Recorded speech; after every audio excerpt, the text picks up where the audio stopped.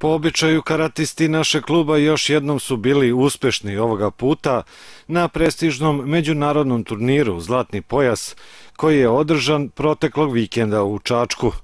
U kategoriji poletaraca, pionira i nada, zlatne medalje osvojili su Milica i Jana Trikoš, kao i Andrej Marković. Drugo mesto osvojili su Milica Veljković i Andrija Savić.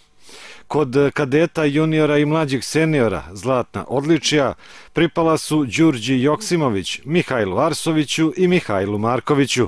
Srebrnu medalju osvojila je Teodora Krstović, dok su Marta Joksimović, Marija Trikoš i Uglješa Pejović u svojim kategorijama osvojili bronzana odličija.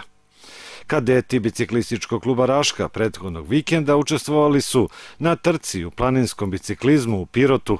Damljan Stanišić je zauzeo peto mesto, Mihajlo Mladenović je bio sedmi, dok je Andrej Despotović zauzeo 18. poziciju.